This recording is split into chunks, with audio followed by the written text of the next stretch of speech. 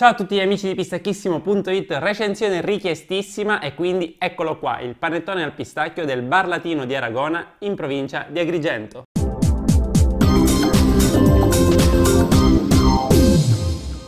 Ecco qui il panettone glassato in cioccolato bianco al pistacchio e ricoperto di granella di pistacchio. È un po' traumatizzato dal viaggio. All'interno ovviamente è farcito con crema di pistacchio. In etichetta non è indicata la percentuale esatta di pistacchio, ma non è un problema. Assaggiamolo e scopriamo com'è.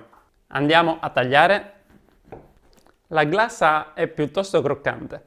Ed ecco qua la mia fetta di panettone. Allora, c'è farcitura di qua farcitura di qua, direi che è ben farcito.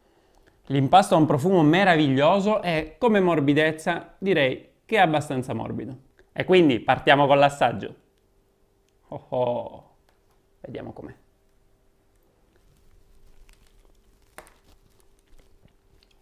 Mm. Davvero un ottimo impasto. Mm. L'impasto è molto molto corposo, proprio quel retrogusto di burro molto tondo che è veramente molto piacevole. Vediamo meglio la crema di pistacchio.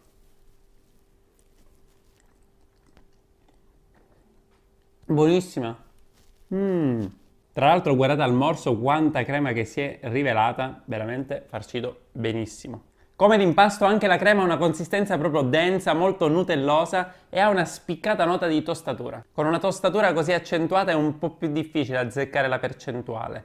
Secondo me siamo intorno al 30%, ma potrei sbagliare. La copertura è davvero molto croccante, ma devo dire che il pistacchio non lo sento perché il cioccolato bianco rimane abbastanza incisivo.